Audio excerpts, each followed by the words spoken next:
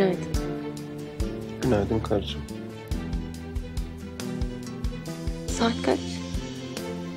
Ne saat? Ömer. Zehra sus. Ömer Zehra dedim. ama Ya sen hala konuşuyor musun? Ömer Jülide Hanım. Tamam. Sadece bir dakika. Tamam.